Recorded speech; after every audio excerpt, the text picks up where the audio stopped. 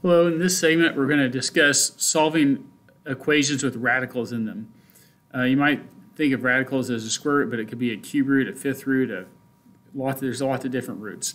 So we're going to start out with just a very basic sort of equation and we'll uh, expand from there. Uh, let's start with the square root x plus 56 equals 16. This is kind of the ideal type of radical equation where uh, you have a square root on one side all by itself. Uh, if that is the case, then you are always free to simply square both sides. If you square a square root, then you get what was underneath it all along, x plus 56. If you square 16, you get uh, 256. And now you're back to uh, algebra 1. Take away 56, and x is going to be 200. Uh, so like I said, that's kind of the, the very most basic type of uh, radical equation you can have. Uh, another kind of basic uh, type of equation you could have is something like this. 4 x to the 2 thirds uh, minus 6 equals 10. Um, and uh, what you're going to do here is you're going to add 6 to both sides. And you always want to get the x term by itself first. So add 6 to both sides. 4x to the 2 thirds equals 16. Uh, you're going to divide by 4. And you get x to the 2 thirds equals 4. And now, um, since you have the x isolated, you can put a power on both sides of 3 halves. The reason for 3 halves is 3 halves times 2 thirds makes 1. That would be x to the 1 equals 4 to the 3 halves power. Uh, when you have a, an exponent that's a fraction, the bottom number is the root, the top number is the power. So this is the same as the square root of 4 cubed, or 2 cubed, which is 8. So x equals 8 here. Um, with all these problems, you need to check for extraneous answers. Uh, that means you need to plug in x equals 8 and just make sure that it works. Um, so if I were to um, uh, go in here and do 4 uh, times 8 to the 2 thirds power minus 6, uh, remember the bottom is the cube is the cube root and then that's squared, so this would be 4 times uh, the cube root of 8 squared minus 6. Uh, 4 times the cube root of 8 is 2, squared is 4, so 4 times 4 minus 6, that does in fact equal 10 like we thought. So that is a correct answer. Uh,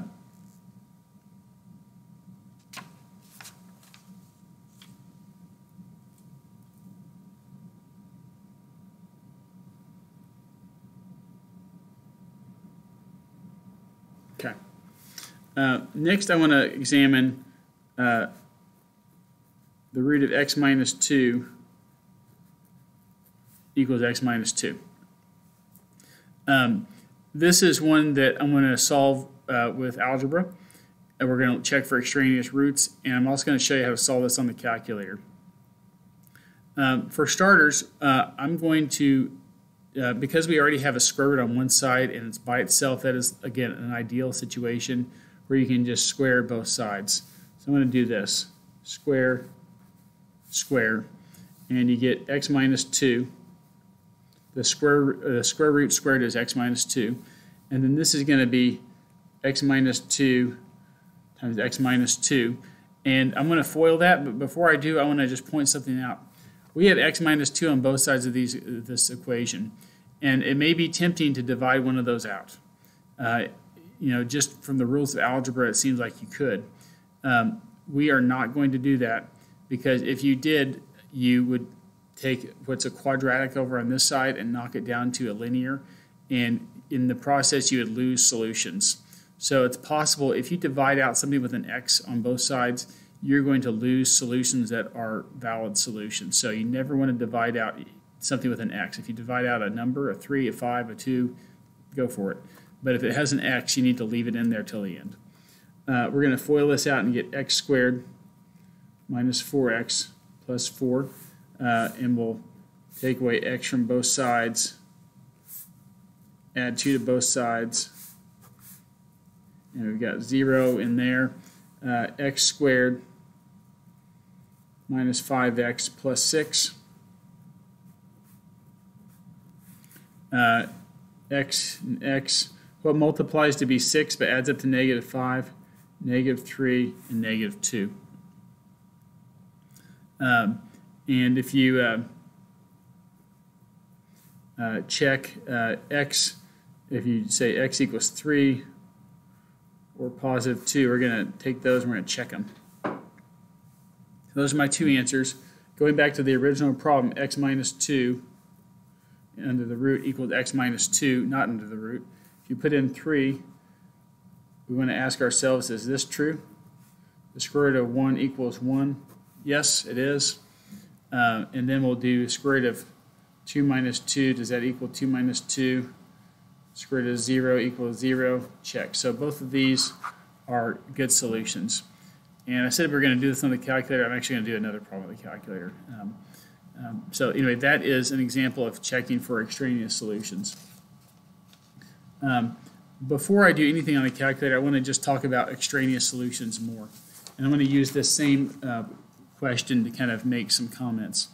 Uh, we had the square root of x minus 2 equal to x minus 2. This was a square root uh, expression, and this was a linear. And a fail-safe way to find solutions to any equation, not just this, but anything at all, is to graph the left side and the right side and then see where they cross. So this guy would graph like, there's a square root curve. And then x minus 2 is a linear equation. So uh, I'm just going to make up a few linear equations. One way you could have an answer is that and this would be a one solution um, uh, problem. Another thing you could do is you could have your square root function like that, and you could have a linear equation that did this. And that would be a two solution uh, equation where the line crosses the square root and, and the, the linear, the straight line crosses square root in two places. And then another option would be this.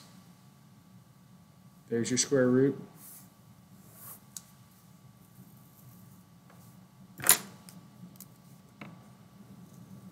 There's your line. Clearly here the line doesn't cross anywhere. This would be a no solution.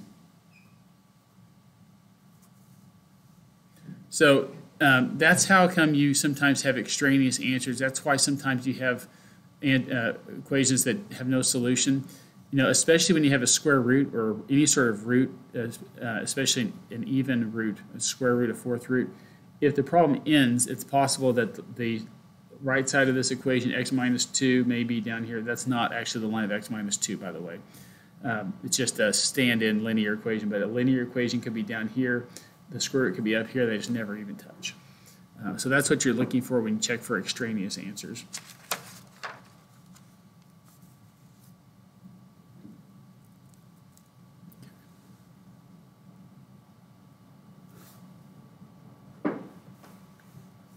Uh, going back to some um, uh, uh, equations that we're just going to solve involving uh, uh, different roots. We'll start out with a, another very uh, easy, nice scenario where we have a cube root uh, equal to another cube root. And if, if that's the case, then you can simply cube both sides. If you cube a cube root, you just get x plus 4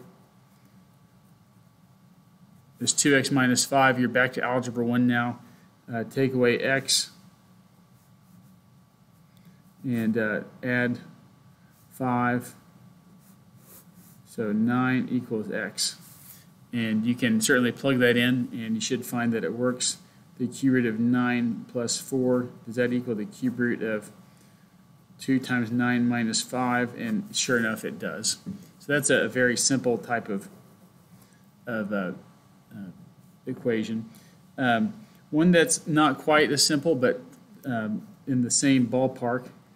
Imagine 6 roots of x minus root of x minus 1 equals 0. Um, now, you cannot just start squaring everything because if you square the left side, that's going to be a FOIL problem. You're going to end up with a lot of awful square roots doing that. If you square the right side, it's 0. So what you want to do here instead is first add the square root of x minus 1. Like that. And then you square. And if you have a 6 as a coefficient, if you have a coefficient times the square root of x, everything gets squared. So the 6 squared is 36, uh, square root of x squared is x, and this is x minus 1. Uh, if this was 6 plus root x, you'd have a lot different type of problem. We'll look at that next. But uh, in this one, you're not going to have a nice answer, but it doesn't take too long to get there. 35x equals negative 1. Divide by 35. So x appears to be negative 1 over 35. And we are going to check that. We had uh, 6 roots of x equals root of x minus 1. And uh, if I put negative 1 35th in here, and negative 1 35th minus 1, you're going to notice that we have a, a negative under the square root, and that gets a sad face. That is not allowed. Uh, so this is extraneous. and thus we have no solution here.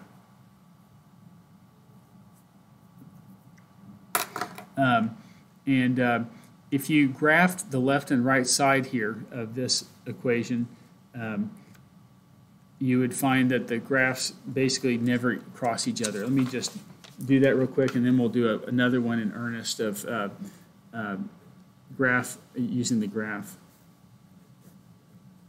So this is what we had a moment ago. And the way you solve this on a calculator is you turn it on,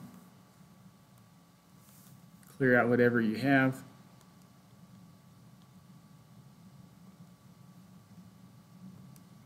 And I'm going to graph the left side on its own 6 square roots of x.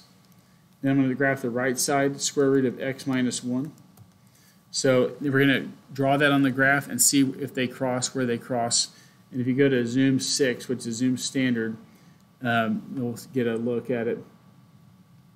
You can see that these graphs just, that one goes up and over, and then this one goes up really high and over, and they don't ever even touch. Um, one of them starts at 1, the other one starts at 0. That's why there's no solution here, because they don't ever touch each other. Okay.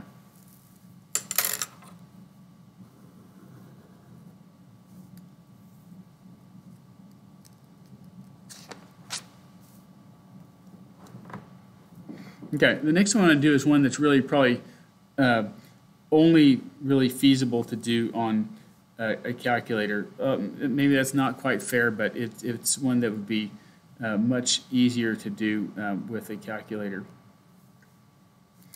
Um,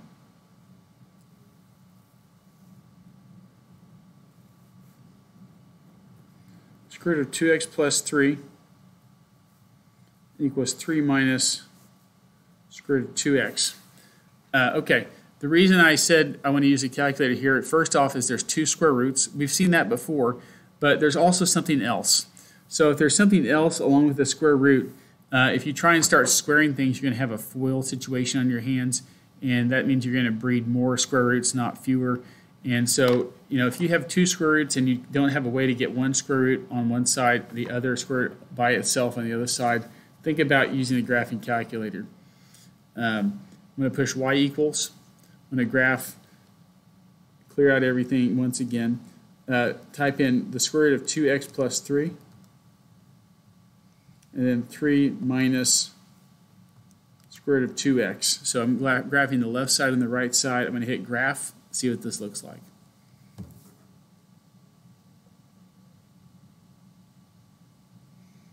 Okay, so I'm looking at this. I see a potential intersection point right around here. Uh, the graph is not really zoomed in that well, so I want to zoom this in some more and focus right in this little area in the first quadrant. You go to window to adjust the window. And so for x, maybe instead of going all the way to the far left, maybe I'll just do like negative 1 to like 3. Let's just see what that looks like. That kind of focuses on the middle part of the graph. And I'm seeing a, a, a, crossing point a little bit better, but I still would like to scrunch the y down in because I don't need all this space. Um, so maybe we'll go to the window and let the y be like, I like to see the maybe a negative 1 to 4. Let's see how that looks. There's my first graph. That looks far better. I can definitely see there's one crossing point. And so now I need to make the calculator find that. Uh, I'm going to go to calc, second calc, and ask it to choose option 5, which is the intersection op option. And uh, so now it says, what's the first curve? You can see the cursor is just like bopping around there. Hit enter any place. So enter is right there. Hit enter. And then it goes to the other curve. Where do you think this, what is that the right curve they ask? And you say yes. And then it says guess. And what you do is you move the cursor over really close, like right there, and you hit enter. The reason you have to guess is if there's more than one answer, then it wants you to show which one it is you want. So, but there's only one here. So it looks like x is 0.5, y is 2, and that is something that I probably would not have easily found uh, otherwise. Um, like I said, on the calculator, you really don't need to check because the calculator is not going to show you an extraneous answer. But if you did want to check, 2 times 1 half is 1. You'd have the square root of 4 equals 3 minus 1 half times 2. So 2 equals 2. And sure enough, that checks out. So that's a way that you can use your calculator um, to, to solve. Um, let's see, let me find my, my problem here. Um, if you have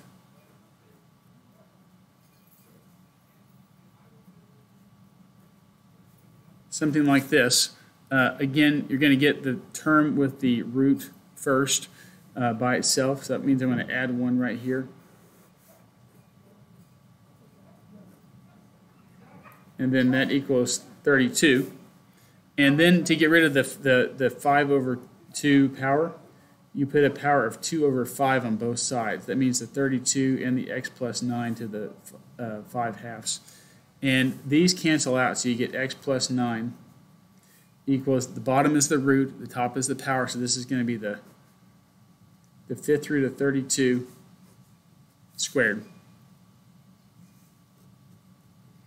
The fifth root of 32 is 2 because 2 times 2 is 4, 8, 16, 32. And so that is actually 2 squared. x plus 9 equals 4. Take away your 9